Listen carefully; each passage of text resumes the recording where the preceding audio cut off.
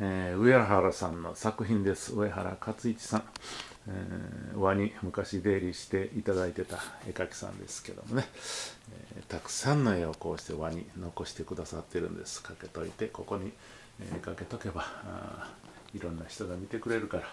ということでたくさんいただきました。お預かりするというよりもですね、えここに差し上げますと。今村さんに差し上げますと。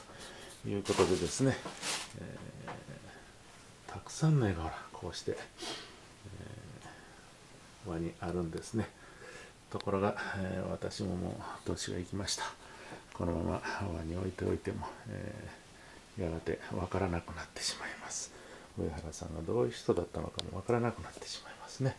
ということでこのほど、え上原さんのご子息に連,、え連絡申し上げてできれば、えー、お持ち帰りいただいて遺族の方に持っていただくのが一番ではないかと思った次第でこうして、えー、出してきました。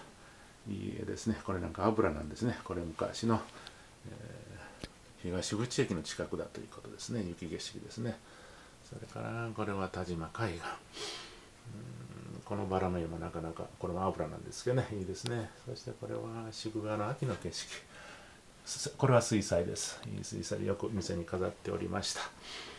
えー、これは北山公園、西宮の北山公園ですね。これは大阪の景色ですね。これも大阪のなんか工事中。これは、えー、どこですか？尖閣湾と書いてありますね。今問題になってる尖閣列島のことでしょうかね。そしてこれはずっと巻き紙状にしてある。これはね、裏も表もずっと書いてあるんですよ。えー、田島の旅。としてありましてうちの家内が田島出身やいうことで奥さんにあげるてくださったんですね。それからこれもずっと今村様と書いてありますが大阪城大阪白北公園の花勝負。これもずっと巻き紙状に書いてありますね。昭和63年ですからね書いてあります。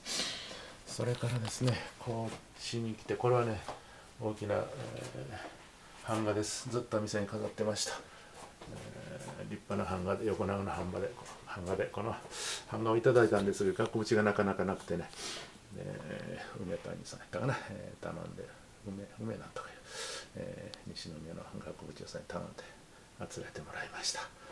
それからこれも西宮これは西宮ですね。西宮市役所昔の市役所の版画です、え、これも貴重な版画ですね。えー、そこに外車が写ってるのはあれは市長さんが乗るやつかなんかでね当時国産の色がなかったので外車いうことみたいです。